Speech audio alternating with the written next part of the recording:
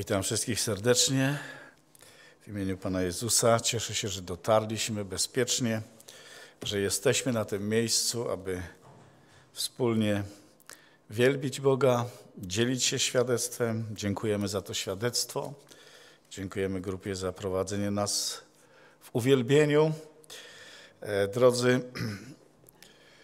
e, chciałbym dzisiaj dzielić się takim słowem, które związane jest e, z naszym nastawieniem do Bożego Słowa i chcę mówić o tym właściwym, prawidłowym nastawieniu człowieka do Bożego Słowa. Ale zanim, zanim rozpocznę dzielić się tym słowem, chciałbym, żebyś powiedział sam do siebie, sam przed sobą, tam gdzie siedzisz, Bóg mnie kocha. Możecie to zrobić? Powiedz, Bóg mnie kocha. Powiedz sam do siebie, Bóg mnie kocha. Drodzy, ta podstawowa prawda gdzieś często nam umyka i diabeł chce nas z tego obrabować, z tej świadomości, że mamy dobrego, pełnego miłości Boga, Ojca, który się o nas troszczy we dnie i w nocy. Ale dlatego, że Bóg nas kocha, dlatego, że to nie jest coś wymyślonego, ale jest to prawda Bożego Słowa, to Bóg swojej miłości dał nam, posłał nam, przekazał nam swoje święte słowo. I chciałbym, chciałbym doświadczać i chcielibyśmy doświadczać tej rzeczywistości Bożego Słowa w naszym życiu. No bo Słowo musi być przez nas przyjęte, jeżeli ma coś uczynić w Twoim i w moim życiu. Inaczej po prostu ono nie będzie działać w życiu człowieka. Tak więc, jakie powinno być nastawienie? Czego uczymy się z Bożego Słowa o tym właściwym nastawieniu do, do, Bożego, do Bożego Słowa? Chciałbym, żeby, tak jak mówi Paweł w liście do Kolosan, żeby Słowo Chrystusowe mieszkało, dosłownie zadomowiło się we mnie i to w sposób obfity. Tak bym chciał. Ale jeżeli tylko pozostanę na chceniu, a nie będzie tego właściwego nastawienia do Bożego Słowa, oczywiście ja dzisiaj nie wyczerpię tematu, ale, ale chcę rzucić takie bardzo ważne, zasadnicze kwestie, w jaki sposób mam patrzeć i powinienem patrzeć na Boże święte Słowo. Nie chcę spotkać się z literą, która zabija, ale chcę spotkać się z Bogiem, który przemawia przez swoje święte Słowo. Bogiem, który mi otworzy oczy, Bogiem, który rozjaśni mój umysł. A więc pierwszą rzeczą, którą chciałbym powiedzieć na samym początku, to mając Boże Słowo, podchodźmy do Bożego Słowa w sposób inteligentny. Inaczej mówiąc, miej otwartą głowę, umysł i serce, jeśli chodzi o Słowo Boże. Czasami ludzie myślą, że jak zaczynasz czytać Pismo Święte, to powinieneś umysł wyłączyć. Ale to jest zupełnie niewłaściwy sposób myślenia, dlatego że y, Słowo Boże zupełnie, zupełnie inaczej nam, nam o tym mówi. Bóg przemówił do ciebie i do mnie, Bóg przemówił do każdego człowieka na tej ziemi przez swoje słowo. Oczywiście przemawiał na początku przez proroków, później przez Jezusa Chrystusa i zostawił nam słowo i przemawia do każdego człowieka przez swoje słowo. Kiedy biorę tą księgę do ręki, nie biorę tą księgę w taki sposób, że mam na myśli to, że Bóg zaszyfrował wiadomość dla mnie. Zakodował ją dla mnie. Ja czytając Boże Słowo, ja teraz muszę to odkodować. Nie, Bóg w ten sposób nie mówi i nie komunikuje się z nami. Komunikuje się w sposób bezpośredni, jasny, wyraźny. Tak, żeby nawet dziecko zrozumiało to, co on ma na myśli. Jeżeli Bóg mówi, będziesz miłował Pana Boga z całego serca, z całej duszy, ze wszystkich sił i myśli, to chyba każdy normalny człowiek, normalnie myślący, używający swojego umysłu, mniej więcej wie o co chodzi. Tu nie ma żadnej kombinacji, żadnej tajemnicy. Niektórzy, wiecie, była taka książka, kod biblijny i zaczęli doszukiwać się e, takiej, takiego drugiego dna w Starym i w Nowym Testamencie. Było to może ciekawe, ale to graniczyło, to wchodziło w w bardzo niebezpieczne obszary. Bóg w ten sposób się z nami nie komunikuje. Możesz być wykształcony i nie, ale poselstwo Boga jest tak jasne, jest tak wyraźne, tak proste, że jesteś w stanie je zrozumieć. Oczywiście, że są rzeczy trudniejsze. ale czasami Bóg chce, żebyśmy poświęcili trochę czasu, wysiłku, myślenia, aby zrozumieć, co On chce do nas, do nas powiedzieć. Tak więc Bóg przemawia do człowieka grzesznego, takim, jakimi byliśmy ty i ja, do człowieka, który nie zna Boga. Przemawia przez swoje słowo. Chciałbym, jeżeli chcę, żeby to słowo było dla mnie pożytkiem, błogosławieństwem, życiem, to muszę odrzucić uprzedzenia. Muszę e, odrzucić niewiarę, sceptycyzm i, że tak powiem, nie dać szansy tylko Słowu Bożemu, ale sobie dać szansę. Bo Słowo Boga skierowane jest do mnie, do mojego życia, aby mnie zbawić. Psalmista, nie wiemy kto napisał ten psalm, niektórzy mówią, że Ezdrasz, e, inni może myślą, że to Dawid. W każdym razie psalm 119, w psalmie 119 psalmista mówi w wierszu 18 i 19 takie słowa Otwórz oczy moje, abym oglądał cudowność zakonu Twego. Jestem gościem na ziemi. Nie ukrywaj przede mną przykazań swoich. On ma jakąś tęsknotę, on ma jakieś pragnienie. On mówi: Otwórz moje oczy, abym oglądał całą cudowność tego, co przekazałeś w swoim świętym słowie. I też mówi tak: Czasu mam niewiele, aby odkryć, co mówi Twoje słowo, bo jestem gościem na tej ziemi bo jestem parą na tej ziemi, bo jestem dziś, a jutro może już mnie nie być. A więc mam bardzo niewiele czasu, aby poznać cudowność Twojego zakonu i nie chcę tracić tego czasu na jakieś niepotrzebne, głupie rzeczy, nieistotne, ale chcę zwrócić się do Twojego słowa, aby odkryć cudowność Twojego słowa. Pamiętacie, co pisze Paweł do Tymoteusza? Mówi tak, od dzieciństwa znasz Pisma Święte, które cię mogą obdarzyć mądrością ku zbawieniu przez wiarę w Jezusa Chrystusa. Tak więc mamy Słowo. E, muszę do tego słowa mieć właściwe nastawienie, muszę mieć otwartą głowę i serce. I tutaj ja rozumiem, co siostra Mirela chciała powiedzieć, żeby nie zadawać pytań, albo inaczej, kiedy nie rozumiemy, mamy pytanie, dlaczego, abyśmy nadal ufali Bogu. Ale ja myślę, że człowiek jak najbardziej może zadawać pytania. E, pytania z tym właściwym nastawieniem. Nie z nastawieniem, aby złapać Boga na czymś, ale pytania mówiąc, Panie, nie rozumiem. Panie, otwórz moje oczy. Panie, wyjaśnij mi to. Moi drodzy, Biblia, jak wiecie, jest księgą, która przeszła niesamowite perypetie w historii. Jest to księga z jednej strony najważniejsza dla rodzaju ludzkiego, najbardziej tłumaczona i przetłumaczona na 90, w 97% różnych języków i dialektów. Taką jest ta księga. A z drugiej strony Biblia jest tą księgą, na której rzucone zostały największe siły przeciwnika i ataki. Ja chciałbym powiedzieć, kiedy podchodzimy w sposób rozsądny, używamy naszego umysłu, kiedy zastanawiamy się nad tą księgą, nagle odkrywamy, drodzy, że żadna inna starożytna księga, księga starożytnych pisarzy, czy to poetów, czy to historyków, nie ma takiego umocowania w wiarygodności, e, e, w materiale źródłowym, jak właśnie Pismo Święte. Ja tylko podam kilka szczegółów. Otóż na przykład e, zachowało się osiem kopii e, dzieł Herodota. Herodot e, pisał w V wieku przed narodzeniem Chrystusa. Najstarszy odpis jego tych ośmiu kopii pochodzi z 900 roku po Chrystusie. I nikt, żaden badacz literatury starożytnej, żaden archeolog, żadni naukowcy nie kwestionują, że Herodot napisał to, co napisał tylko mają osiem kopii. I czas od napisania, od oryginału do najwcześniejszej kopii to jest 1300 lat. I nikt tego nie kwestionuje, bo naukowcy wiedzą, czy badacze literatury wiedzą, jak zbadać wiarygodność tekstu, danego tekstu. Jeżeli byśmy przyjrzeli się dziełom Tukidydesa, to tak samo jest zachowanych osiem kopii i dzieli ich od tego czasu napisania 1300 lat. No, Tacyt pisał swoje dzieła w setnym roku naszej ery.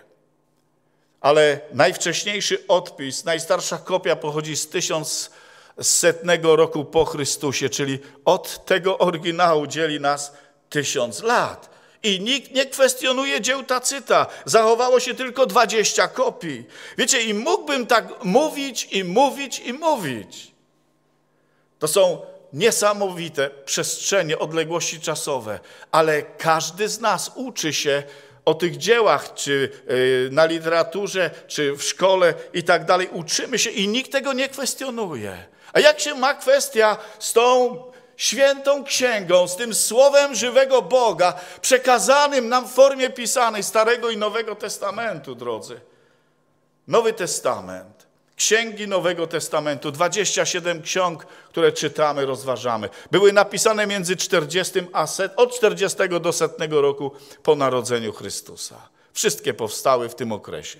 A niektórzy e, badacze, naukowcy, e, e, ci, którzy świetnie poruszają się w tej kwestii badania tekstu, krytyki tekstu, mówią, że nawet wszystkie księgi Nowego Testamentu mogły być napisane między 40 a 70 rokiem po Chrystusie. Wiecie dlaczego? Dlatego, że żadna księga Nowego Testamentu nie mówi o tym wielkim historycznym wydarzeniu, jakim było zburzenie Jerozolimy i świątyni jerozolimskiej w 70 roku. I to daje niesamowity asumpt do tego, przyczynek, żebyśmy mogli nawet posunąć się do takiego myślenia. No, yy, większość jednak nowotestamentowców, profesorów, badaczy, y, jednak księgi Jana przesuwa na ten późniejszy okres, e, lata 90. po Chrystusie. Ale wiecie, że najstarszy odpis ksiąg Nowego Testamentu, fragment Ewangelii Jana, został już znaleziony i datowany jest na 135 rok po Chrystusie, znaleziony w Egipcie. A więc musiał pokonać już jakąś drogę, już ileś czasu musiało upłynąć.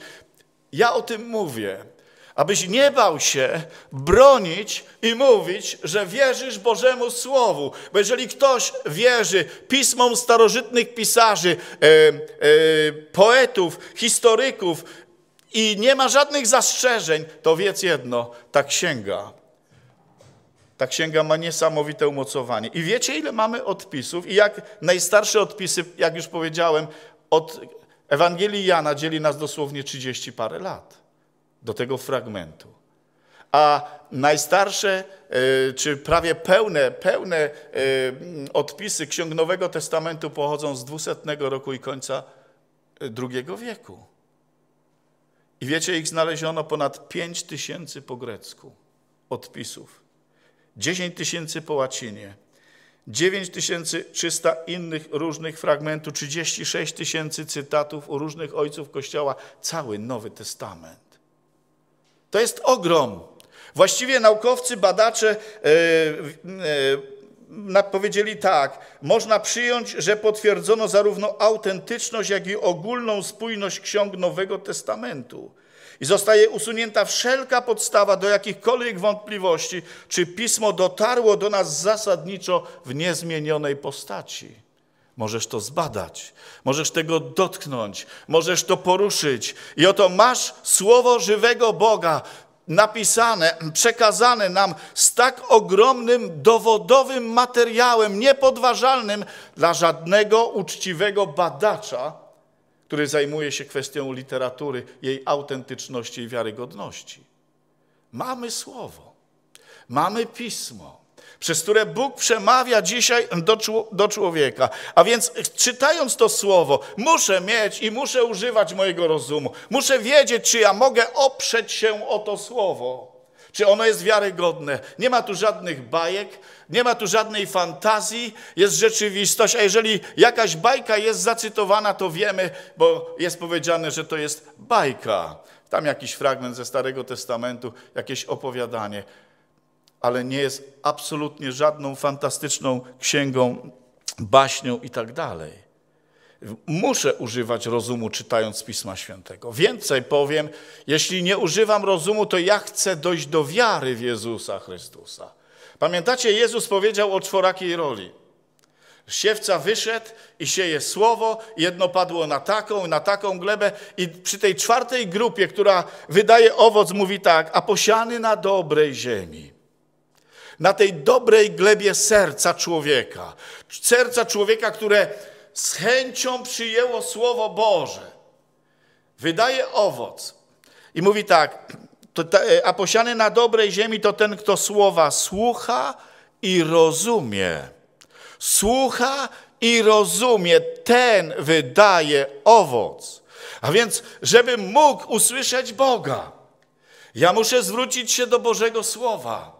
Pozwolić też temu, który jest autorem, inspiratorem tego słowa, Duchowi Świętemu, aby mnie uczył tego słowa, wyjaśnił mi to słowo. Nie widziałem człowieka, który mógłby dojść do wiary, nie myśląc, nie zastanawiając się nad tym, co Bóg do niego mówi. Nie rozumiem ludzi, którzy mówią, że są głęboko wierzącymi, a nie wiedzą, co Bóg mówi w swoim słowie i wierzą w różnego rodzaju idee ludzkie, koncepcje ludzkie, filozoficzne, religijne, tradycje, której nigdy nie zweryfikowali z prawdą Bożego Słowa. Ale co mówi Słowo Boże? Ty, Tymoteuszu, pilnie pilnie zabiegaj, yy, pilnuj słowa, które znasz od dzieciństwa, one cię obdarzą mądrością ku zbawieniu. A więc muszę je poznać, muszę je czytać, muszę je zrozumieć, muszę pozwolić temu Słowu i Duchowi Świętemu, aby mi to Słowo wyjaśnił, jak mam je rozumieć, abym nie rozminął się z wolą Boga, z prawdą, która jest objawiona w Jego świętym słowie. Wydają owoc. Ten, kto słucha i rozumie, wydaje owoc. Zastanawiałem się, na czym ten owoc polega. Kiedy ty i ja możemy przynieść dobry owoc, który będzie się Bogu podobał. I myślę, że to jest jeden sposób, kiedy ja zrozumiem słowo i temu słowu staje się posłuszny. To jest wydanie owocu. Takiego owocu, który podoba się Bogu. Moi drodzy, a więc jest rzeczą niemożliwą wierzyć, wydawać dobry owoc bez zrozumienia Słowa Bożego, tego, co Bóg mówi do nas odnośnie naszej z Nim społeczności, relacji, odnośnie pojednania z Bogiem. A więc samo słuchanie bez posłuszeństwa jest oszukiwaniem samego siebie, jest staniem w miejscu, jest zakopywaniem się w tym miejscu i nigdy nie dojdziesz do celu. Posłuszeństwo dla słowa jest niezwykle ważne. Pamiętacie, jak e, e, Filip przez Ducha Świętego, tam jest powiedziane, że anioł się objawił, powiedział mu: idź na drogę pustynną. I tam na tej drodze pustynnej e, spotkał człowieka, który jechał w wozie i czytał proroka Izajasza. Nie miał takiej księgi jak my, ale jakiś zwój, fragment proroka Izajasza i czyta o baranku prowadzonym na rzeź. I Filip Pyta go, co czytasz? Czy rozumiesz, co czytasz? A wtedy on tak fajnie mówi, odpowiadając na pytanie, jak mogę zrozumieć, gdyby ktoś mi nie wyjaśnił? Ale to pytanie Filipa jest niezwykle ważne. Czy ty rozumiesz to, co czytasz? Czy pozwalasz, żeby prawda Bożego Słowa z całą swoją e, mocą, z całą swoją siłą, jasnością zaczęła przemawiać do Twojego życia, do Twojego serca? I muszę Wam powiedzieć, jeżeli zablokujesz i zamkniesz swój umysł naprawdę Bożego Słowa, to poniesiesz totalną klęskę, totalną porażkę. Czy rozumiesz, co czytasz? I dzięki niech będą Bogu że kiedy Jezus odchodził, powiedział: Ja wam poślę Ducha Świętego, On was wszystkiego nauczy i wprowadzi was we wszelką prawdę. Także otwierając Biblię, ja wiecie, kiedy nie znałem Boga, nie znałem Bożego Słowa, nie wiedziałem, że Duch Święty nawet tak pracuje i działa, ale kiedy czytałem Ewangelię, czy wiersz po wierszu, rozdział za rozdziałem, kiedy doszedłem do końca tej Ewangelii, nagle zrozumiałem, że Bóg jest, że On mnie miłuje, że Jezus za mnie oddał życie. Duch Święty tą prawdę tak wyraźnie rozświetlił dla mojego umysłu i serca. nie mając nikogo obok siebie, ale mając tego, który jest niewidzialny, Ducha Bożego, który oświeca, który daje światło, oddałem moje życie Chrystusowi. Pamiętacie świadectwo pastora Piotra, który podobnie na statku, czytając Ewangelię, w trakcie czytania doszedł do żywej wiary w Jezusa Chrystusa. Halleluja. Oto mamy słowo. Bóg posyła słowo i chce, żebyśmy go rozumieli, bo w nim jest objawiona mądrość pozyskania, zdobycia życia wiecznego, tak abyś nie żył w niepewności do dnia swojej śmierci. Jestem zbawiony czy nie? Będę w niebie czy nie? Ale będziesz wiedział. Już tu na ziemi, już tutaj muszę wiedzieć, czy jestem pojednany z Bogiem, czy nie, czy moje życie e, podoba się Bogu, czy nie, na jakiej podstawie mogę podobać się Bogu i być z Nim pojednany. Poznacie prawdę i prawda was wyzwoli, mówi Jezus. Frank Morrison, dziennikarz, agnostyk, a więc człowiek, który uważał, że tak naprawdę człowiek nie jest w stanie dojść do prawdy. Nie jest w stanie swoim umysłem. Postanowił napisać książkę obalającą zmartwychwstanie Chrystusa. Zbierał materiał i zbierając ten materiał doszedł do wniosku, badając właśnie dokumenty biblijne, ich wiarygodność, ich rzetelność, ich uczciwość. Podobnie jak Josh McDowell doszedł do wniosku, że Jezus naprawdę żył, oddał życie, umarł i trzeciego dnia powstał z martwych. I zamiast książkę, e, którą chciał napisać, obalającą wiarę w zmartwychwstanie, napisał książkę Who moved the stone? Kto poruszył kamień? Dając dowód, że ten fakt miał miejsce w rzeczywistości i to jest wiarygodnie udokumentowane w tekstach biblijnych. Apostoł Piotr mówi tak, oznajmiliśmy wam moc, i powtórne przyjście Pana naszego Jezusa Chrystusa, nie opierając się na zręcznie zmyślonych baśniach, lecz jako naoczni świadkowie Jego wielkości. Oto mamy kogoś, kto chodził z Jezusem.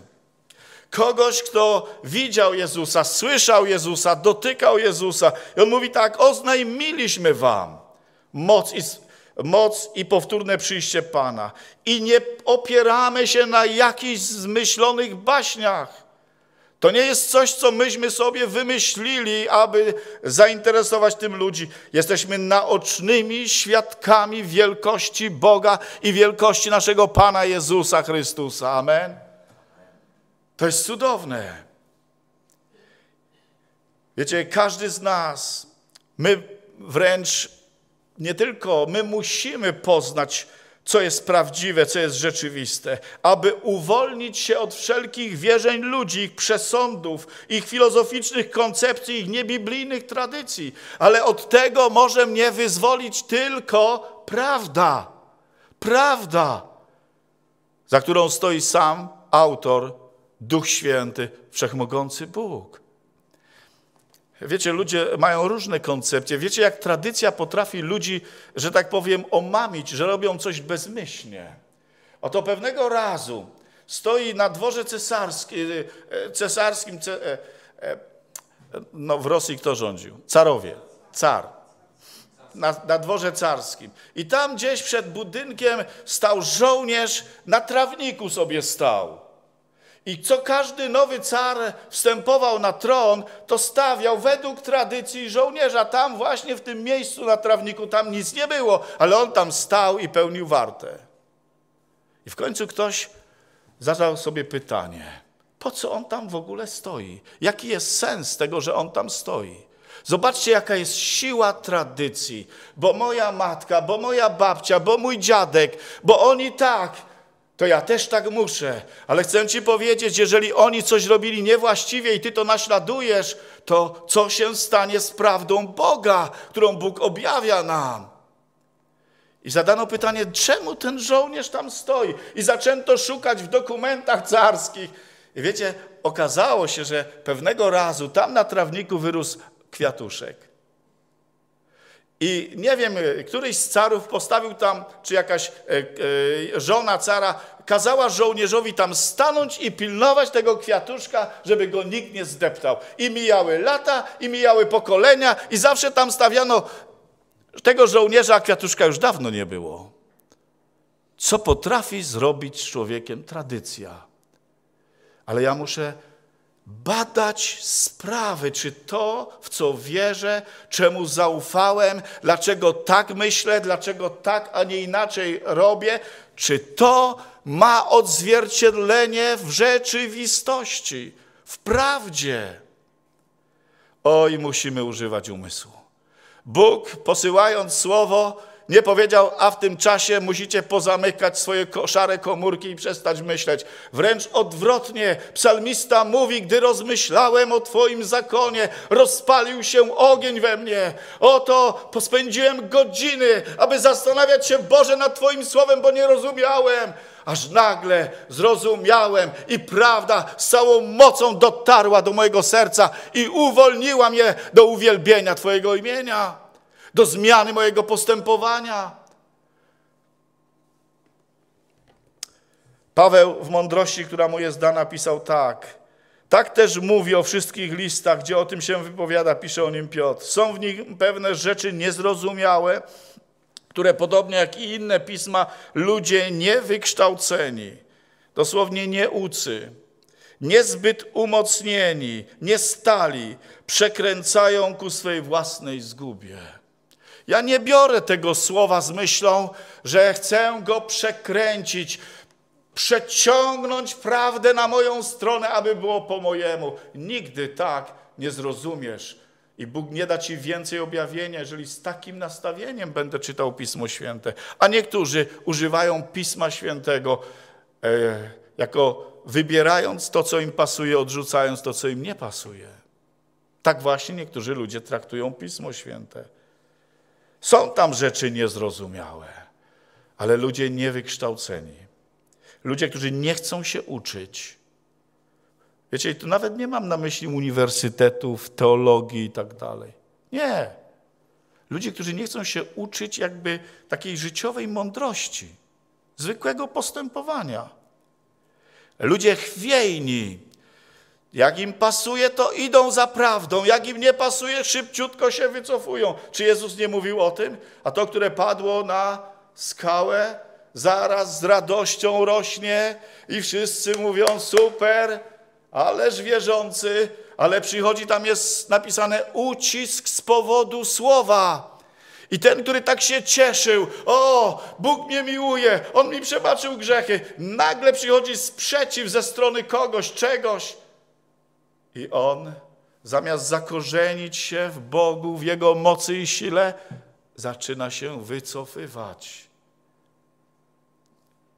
A więc nie stali, przekręcają ku swojej własnej, dosłownie e, ku, ku swojej zagładzie, ku, swojej, e, ku swojemu potępieniu, pisze, pisze Piotr. Duch Święty przez Słowo Boże przekonuje nas o grzechu, o potrzebie Zbawiciela, odkrywa przed nami głębokości Boże, gdy mamy otwarte, pragnące, pełne uniżenia serce przed Bogiem, abyśmy wiedzieli, czym nas Bóg łaskawie obdarzył. Drodzy, dlatego ja sprowokowałem was na początku do pewnego wyznania.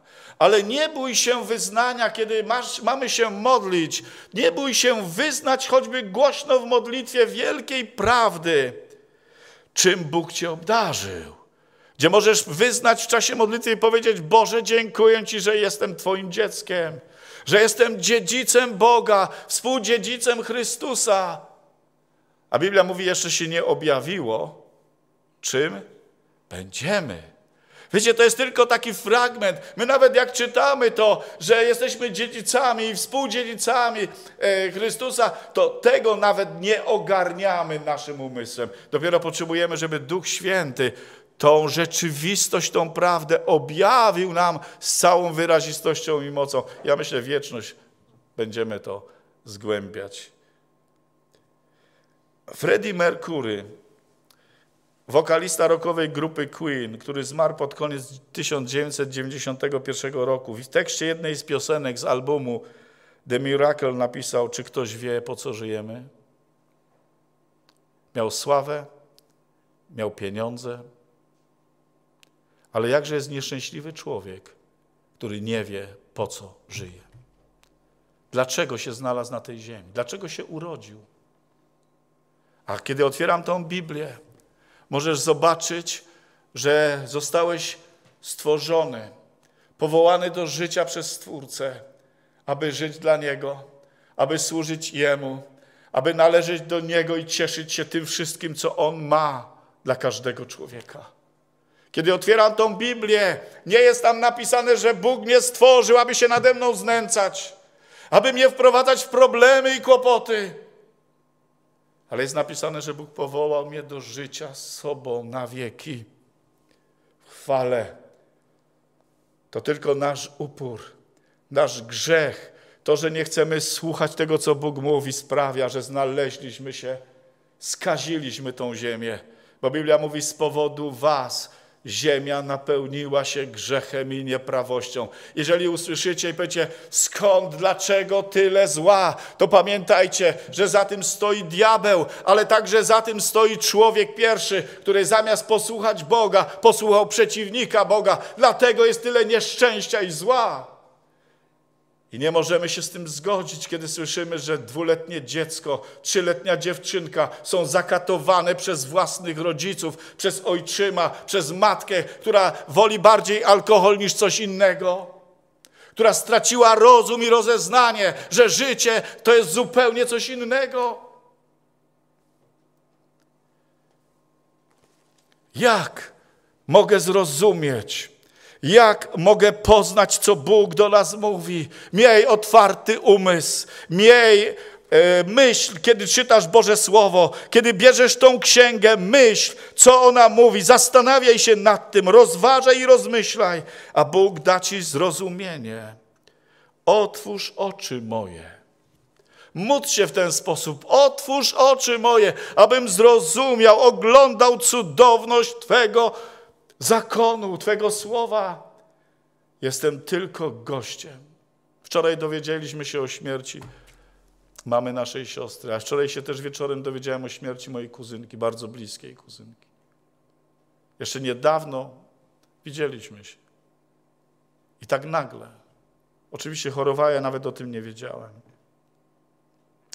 Bo jesteśmy tylko gościem. Tylko gościem. Pewnego razu na nabożeństwie Reinhard Bonke mówi, Duch Święty go pobudził tak wyraźnie, aby do jednej młodej dziewczyny się zwrócił i mówi, pojednaj się z Bogiem. Ale ona nie chciała.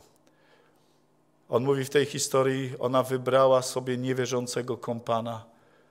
I tego wieczoru, kiedy była ewangelizacja, kiedy ona nie zdecydowała się, nie ukorzyła się przed Bogiem, na drugi dzień, mówi, dowiedziałem się, kiedy wyszła z tego nabożeństwa, wsiedli na motor i zginęła.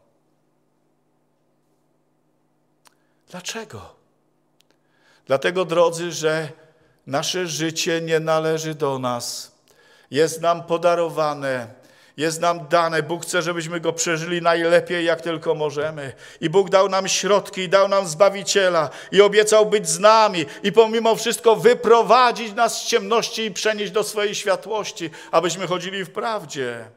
Druga rzecz, jeśli chcę mieć pożytek z Bożego Słowa, to muszę podchodzić do Bożego Słowa z pragnieniem. Muszę sprawdzić, albo inaczej wzbudzać w swoim sercu pragnienie poznania Boga, poznania Jego dróg, poznania Bożego Słowa. Pan Jezus powiedział wyraźnie: Pragnącemu dam darmo pić ze zdrojów zbawienia. Jana 4:10, 7:37. Ci, którzy mają pragnienie, będą wypełnieni mocą Ducha Świętego. Izajasz mówi tak w 55 rozdziale od 1 do 3. Wszyscy, którzy macie pragnienie, pójdźcie do wód. Kupujcie, pójdźcie, kupujcie bez pieniędzy. Słuchajcie mnie uważnie, a ożyje wasza dusza. Podniesiesz się z depresji, podniesiesz się ze zniechęcenia, podniesiesz się z negatywnych myśli, kiedy pozwolisz Słowu Bożemu zadomowić się w swoim sercu i nagle przestaniesz ufać, e, myśleć o kłamstwach szatana, tym, co on próbuje włożyć do twojej głowy. Tu siostra Mirela o tym mówiła. Każdy z nas przeżywa różnego rodzaju ataki, lęki, obawy, strach, ale dlatego jest tak ważne, miej pragnienie pić ze zdrojów zbawienia, ze zdrojów Bożego Słowa. Słuchajcie, ile godzin ślęczymy nad komórkami, czytając różne wiadomości. Mija nie tylko minuta za minutą, godzina za godziną.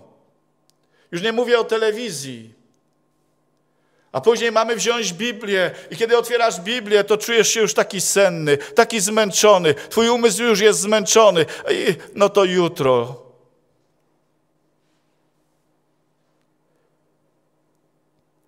Do czego chcemy dojść? Co chcemy zrobić ze swoim życiem, ze swoimi bliskimi? Co chcemy wkładać w życie nasze, czy coś, co pochodzi od Boga, co jest wieczne, czy coś, co nie ma praktycznie żadnej wartości. Ja sam się przyłapuję, ileż to czasami minut idzie, godzin na to. I muszę się napominać. Jak pułapka.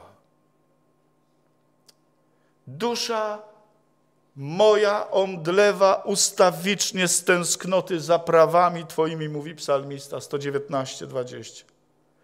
Mam upodobanie w przykazaniach Twoich, nie zapominam słowa Twego. Wiecie, to właściwe pragnienie. Boże, módl się tak, Boże, wzbudź we mnie pragnienie Twego słowa, tęsknotę za Tobą i za Twoim słowem. Czyż na próżno Bóg wzywa człowieka, aby szukał Boga, gdyż Bóg się da znaleźć? Tak, Bóg da się znaleźć każdemu, który go szuka całym swoim sercem. Jest uczciwy i szczery wobec Boga i wobec samego siebie. Gdy będziecie mnie wzywać i zanosić do mnie modły, wysłucham was. A gdy będziecie mnie szukać, znajdziecie, objawię się wam i zmienię wasz los. Jeremiasz 29, 11 do 40. Gdy mnie będziecie szukać, Bóg obiecuje, że się objawi. Nie będzie się bawił chowanego. Objawi się. I Twoja i moja dusza będzie ożywiona. Nasz duch będzie podniesiony, nasz los będzie zmieniony. Bliski jest Pan wszystkim, którzy Go wzywają szczerze. Bliski. Po trzecie, podchodźmy do Bożego Słowa z taką łagodnym, uprzejmym sercem. E, Jakub 1,21 mówi: Przyjmijcie z łagodnością wszczepione w Was Słowo Boże. Pisze do nas wierzących. Do wierzących, którzy nie zawsze zadbali o to, żeby być łagodnego, cichego ducha. Kłócili się, zazdrościli jeden drugiemu a Jakub mówi, tak nic od Pana nie odbierzecie.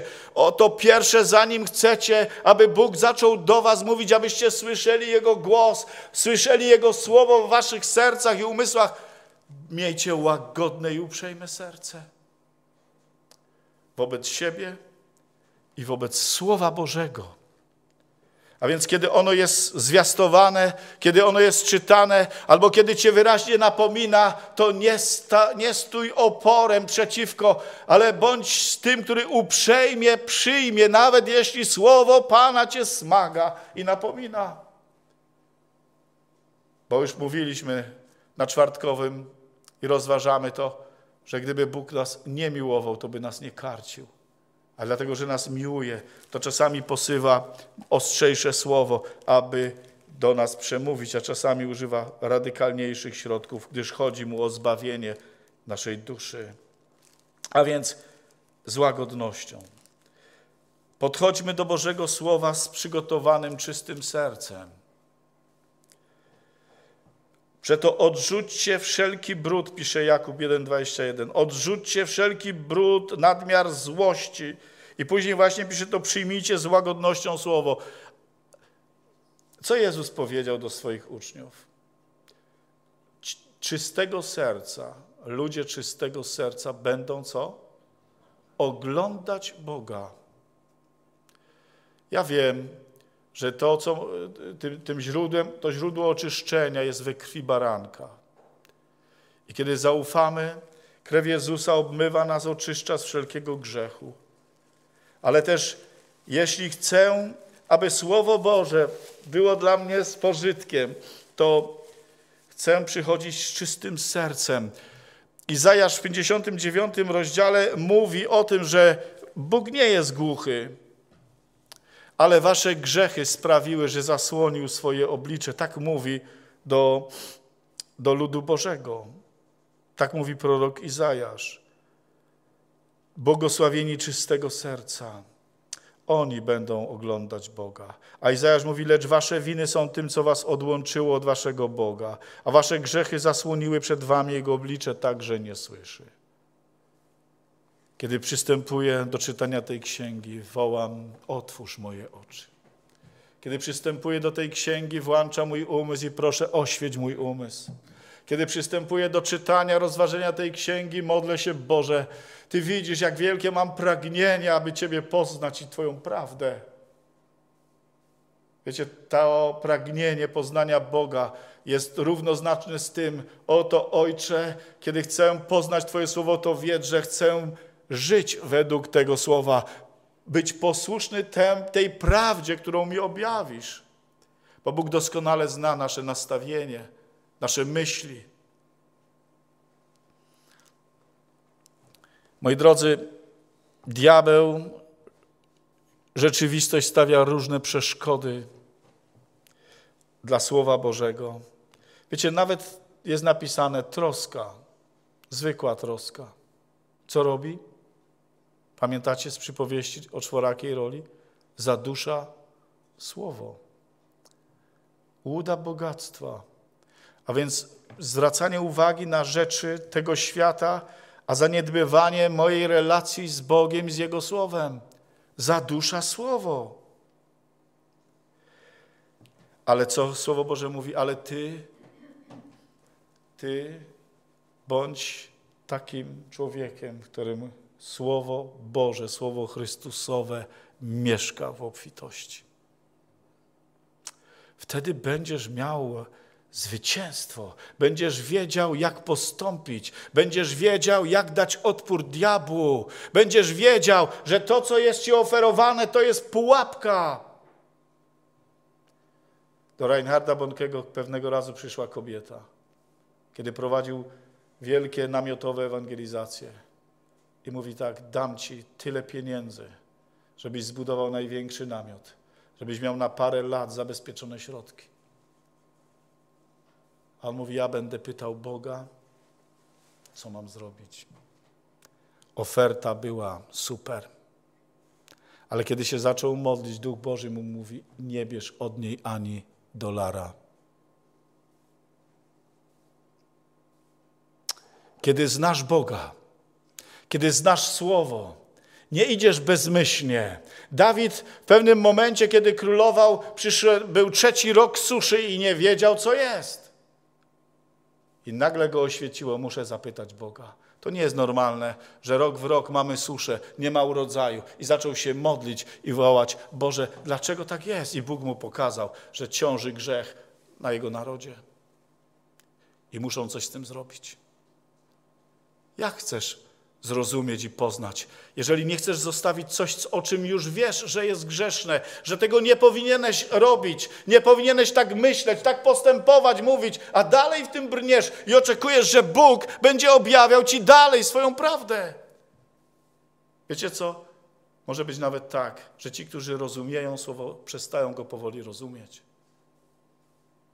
Z powodu zatwardziałości serca, oporu wobec wypełnienia słowa.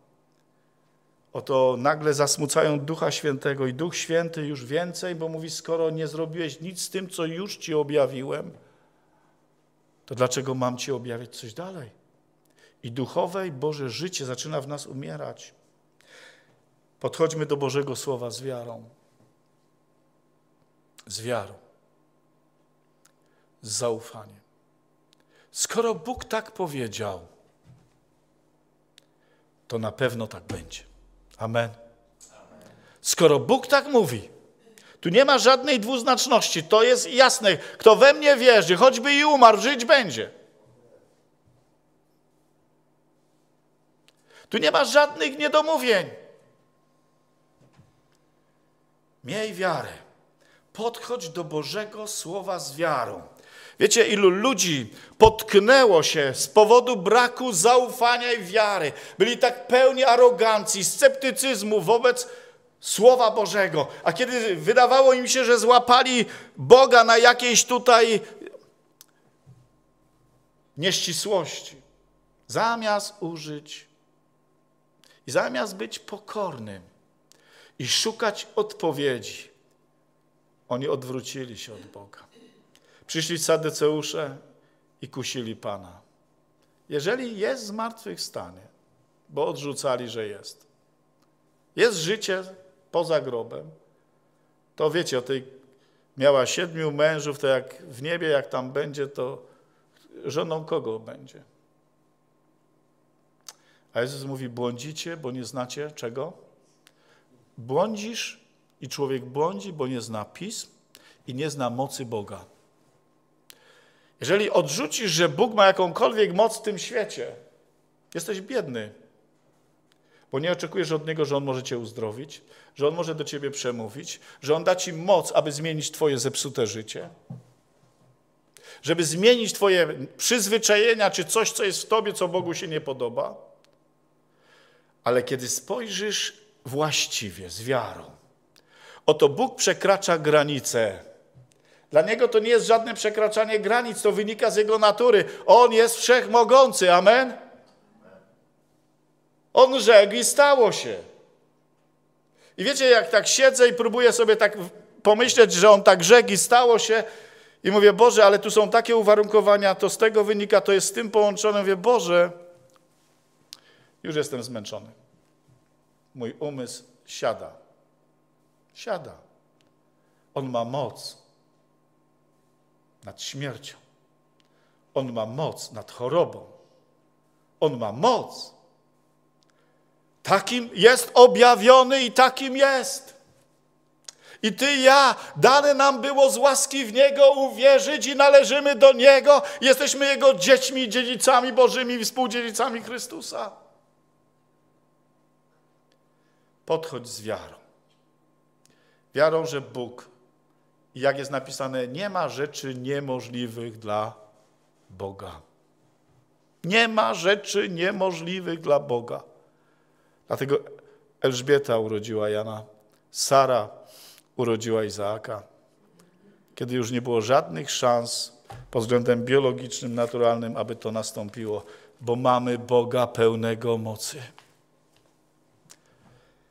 A więc z wiarą w Nazarecie Pan Jezus, chociaż ma wszelką moc, nie był w stanie uczynić wielu cudów.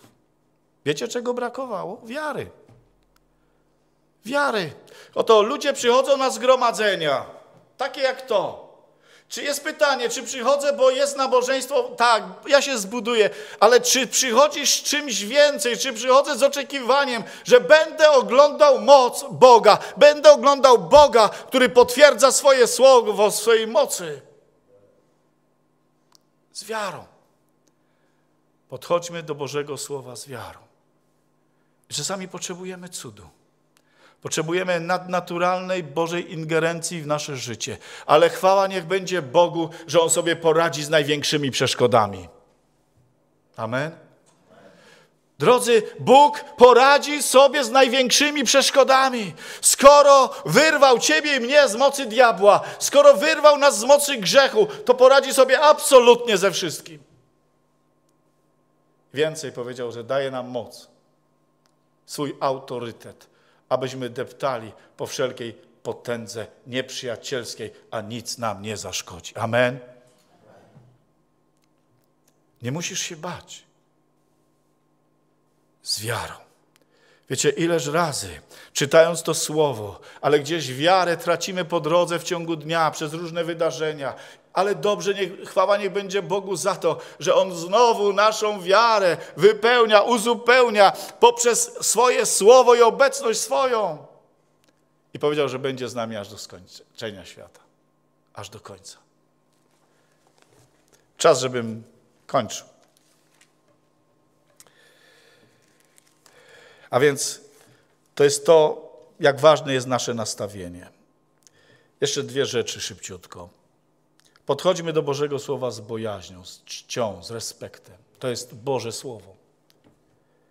Izajasz 66 od wiersza drugiego do piątego mówi, lecz ja patrzę na tego, który jest pokorny, przygnębiony na duchu i który z drżeniem odnosi się do mojego słowa. Wiecie, dużo rzeczy piszę, są zawarte tam cytaty biblijne, później czasami wyrzucam, bo coś jeszcze raz napiszę, coś, co jest może lepsze, pełniejsze i się zastanawiam, co ja zrobię z tymi kartkami. Unikam wyrzucania ich do kosza na śmieci, bo tam jest Słowo Boże. Spalam kartki, coś, co, gdzie jest Słowo Boże, bo to jest Słowo Boże. Wiecie, że Ży, Żydzi nie wzięli tak po prostu zwoju księgi, mieli tak wielki szacunek, że przed każdym wzięciem księgi biblijnej, zwoju księgi, myli ręce przed i po. Ja nie chcę stworzyć tu żadnego zakonu, drodzy. To są moje osobiste. I tak to traktujcie. Chodzi o to, że, żebyśmy z szacunkiem, kiedy masz Biblię, ona nie będzie gdzieś tam w kąt rzucona, pod stół rzucona. To jest słowo Boga z drżeniem, ale ten szacunek się wyraża przede wszystkim tym, że ja jestem posłuszny temu słowu. Prawda? Bo co z tego, że nawet byłaby w pięknym miejscu położona ta księga, jak jej nie czytam, albo jak czytam i tak nie żyję według tej księgi. To znaczy, że nie ma we mnie respektu, szacunku wobec Boga i Jego słowa. I pamiętaj, kiedy toczysz duchową walkę, to słowo jest mieczem ducha. Kiedy diabeł, zwątpienia, burze przyjdą, weź słowo, stań na, mocno na gruncie słowa i ty się ostoisz i posuniesz się do przodu, a diabeł będzie musiał uciekać. Powstańmy, drodzy.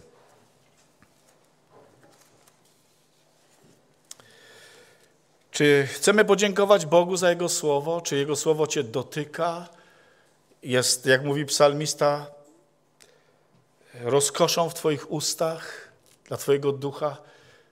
Chciejmy w kilku modlitwach, chciejmy być wdzięczni, podziękować za Jego słowo. Ale też pamiętaj, proś Boga, prośmy Boga za każdym razem, albo bardzo często, Boże, proszę Cię, przemawiaj do mnie, otwórz moje serce, moje oczy, mój umysł na prawdę Twojego słowa. Niech nas Bóg błogosławi. Amen.